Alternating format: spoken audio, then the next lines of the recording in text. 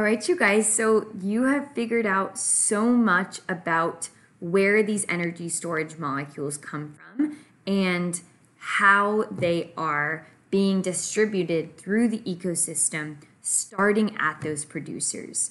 We know that the producers are making these energy storage molecules through this process of photosynthesis.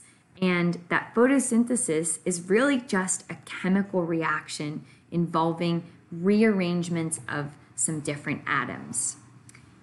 What, though, does this mean for the biodome?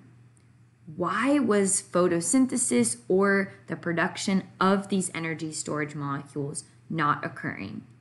Here we have some data from the biodome. It shows the amount of carbon dioxide, sunlight, and water throughout the five years. Notice at year three, the econauts began to notice that the plants and animals were not getting enough energy storage molecules.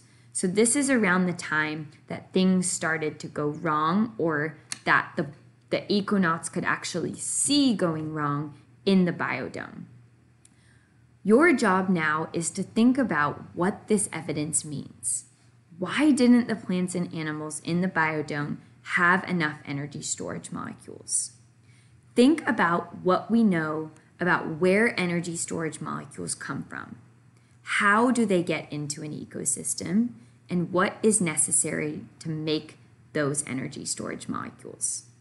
Use the evidence in this graph to analyze and interpret what is going on with the amount of energy storage molecules in the biodome.